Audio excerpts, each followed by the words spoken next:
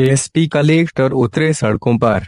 Corona virus वैश्विक महामारी को रोकने के लिए रायसेन कलेक्टर उमाशंकर भार्गव एसपी मोनिका शुक्ला और S D M Laxmikant Khare उतरे सड़कों पर और लॉकडाउन में बेवजह घूमने वालों को दी समझाइश और बनवाए चालान। वैश्विक महामारी कोरोना से निपटने के लिए रायसेन में collector Umashankar Bhargav, Monika Shukla S D M Laxmikant Khare तहसीलदार अजय पटेल थाना प्रभारी Jagdish Singh Sidhu.